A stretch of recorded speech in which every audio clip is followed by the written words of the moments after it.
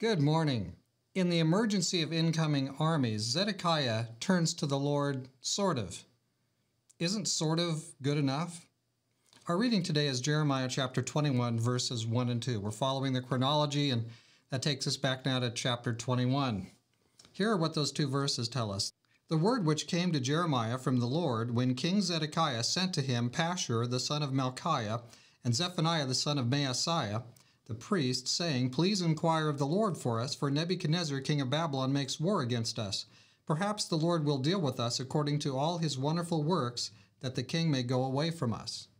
Now, for long years, the leadership of the kingdom of Judah has been pretty much indifferent to all of God's calls to them to repent through Jeremiah and through the other prophets he's been using. But now a message comes from King Zedekiah to Jeremiah. Please inquire with the Lord for us, he said.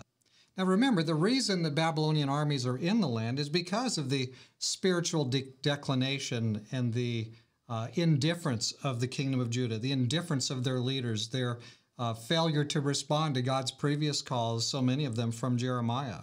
The Babylonian armies are in the land because of this apostasy and indifference. That's why they're there. So God is permitting this incursion to come. He's, he's permitting it quite intentionally. He's, he's letting that be an event to chastise his people. Maybe they'll wake up spiritually.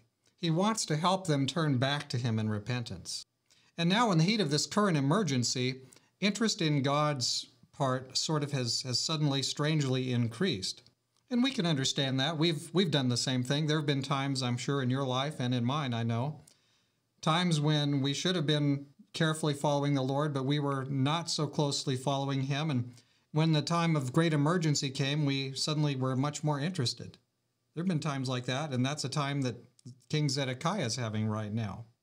We've ignored God for long periods, and suddenly, in the time of emergency, we became very interested in Him. And I know we wouldn't want to admit it, but this usually does indicate a shallowness, a lack of spiritual depth. It indicates a lack of authenticity in our spiritual experience. God wants to water and strengthen all of our positive responses toward Him. So we know He wants to do the same with King Zedekiah. But if we don't come into a deeper relationship with Him, uh, these kind of responses from God would really be kind of futile. We've got to come close. It's got to be real. It's got to be serious. And so we know that's what God really wants, and we know that's what King Zedekiah really needs. So now in tomorrow morning's devotional, we'll we'll carry on with this and we'll see what the response is. But just now, we can sympathize both with Zedekiah and with God. The goal is to get right in the long term and not just to have a temporary relief from present fears because of this current emergency. Let's pray together. Dear Father in heaven, help us to pray to you uh, and ask that you would give us what we need, not necessarily what we want. Many times, what we need is much different from what we want.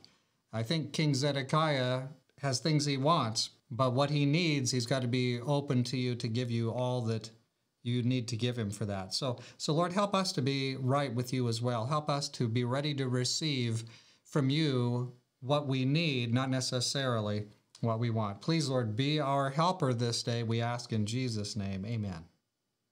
So, actually, we're going to wait till tomorrow to find out whether uh, sort of is better than nothing.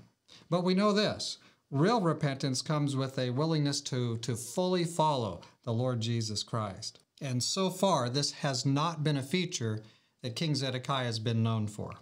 May you and I be known for it today as we serve him in this world.